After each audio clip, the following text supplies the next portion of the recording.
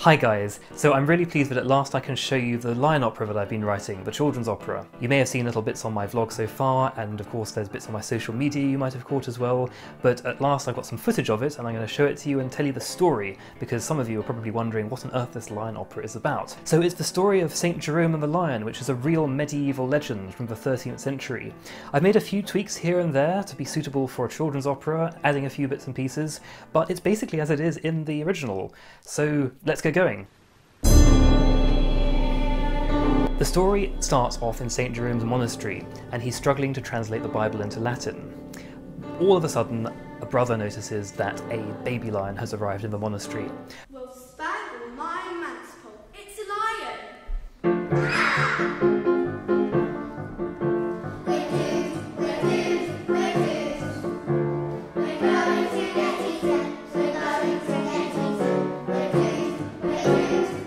Is actually one of the changes I made. In the original, it's just a lion arrives in the monastery, but I thought because I was writing for young people and I'm writing for younger and older people in the same piece, that it would be kind of fun to have a piece which starts off with a baby lion.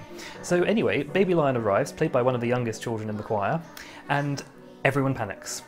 Everyone panics, that is, apart from St. Jerome. You failed to notice two crucial details. Crucial detail number one, this is a baby lion. He's not going to hurt He can't even say his R's properly yet. Wow! And crucial detail number two, he's injured. He's got something stuck in his paw. Now there's only one thing a brother can do when he sees a fellow creature in need. Brother Silentium, go to my library and fetch the book named First Aid for Big Cats. So St. Jerome realizes that the lion has a thorn stuck in its paw, and he takes the thorn out. If you know the legend of Androcles and the lion, then it's very similar, and people think that it might have kind of got mixed up with the Androcles myth. Anyway, he takes the thorn out, and the lion's extremely grateful. And St. Jerome says, Well, would you like to come and live in the monastery? And the lion's like, Yeah, that would be great. So Lion moves into the monastery, and there's one catch. Everyone here has an office, so I must give you an office too. Oh no. Does that mean I'm going to have to send emails? No, no, they haven't been invented yet. I mean, I must give you a job. I want you to take our donkey to the pasture every day to collect wood. Are you sure this is wise? Shh! Bring the donkey. So some of the brothers have some doubts about putting the lion in charge of the donkey. But St. Jerome goes ahead with it anyway, and the lion and the donkey meet. Hi. Hi.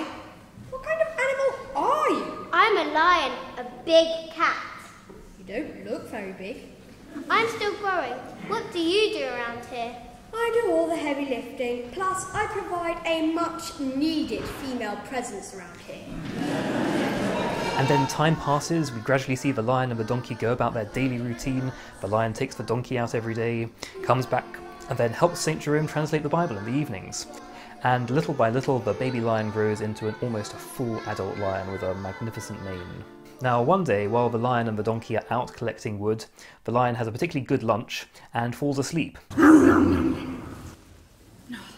Better? Much. That was really good, actually. Can I have a little nap now, please? Okie donkey. and then some bandits come along to steal the donkey. Now, the bandits in my piece are performed by slightly older kids, so the brothers are played by the junior choir, age kind of 7 to 11, and then the bandits are played by kind of 11 to 16 year olds. They're a bit scary. I'll just stay quiet and hopefully they won't notice me. So I thought it would be fun to make the bandits bad bandits and make them obsessed with social media. I'm exhausted after that. Can we have a break? Hey, look, a donkey. Oh my god, I have to Instagram So they're not very good bandits, they're not very cutthroat, they're all obsessed with how many followers and likes they have, but nonetheless they manage to steal the donkey, and that's really where it all starts going downhill. I don't want to give everything away in the story, but you can probably imagine what happens to the lion when he gets back to the monastery, right? All the brothers think that he's eaten the donkey, and they're not impressed.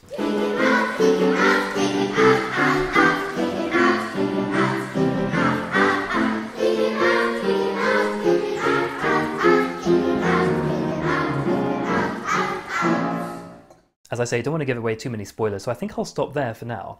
But there was one thing that I wanted to just show you on the video, which I was really pleased with how it came out, which is that at the end of the opera, I wanted to really show that the brothers and the bandits become friends. And I'm not going to say exactly what happens, but basically the finale ends with the brothers and the bandits singing one big song together.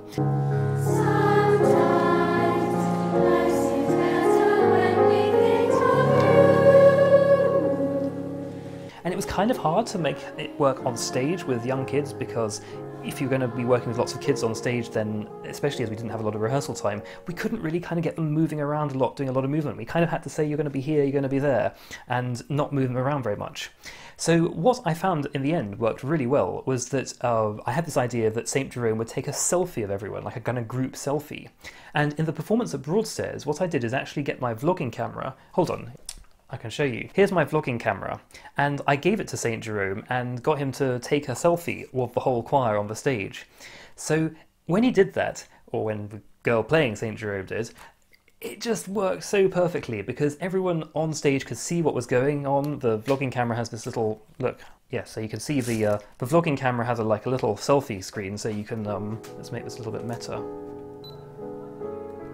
You can see now that I'm uh, I'm taking a selfie of myself filming. So we did that, and um, and when she did it, it was terrific that just everyone came together on the stage and it suddenly created this sense of not just two groups of people standing on stage, but really a kind of a coming together.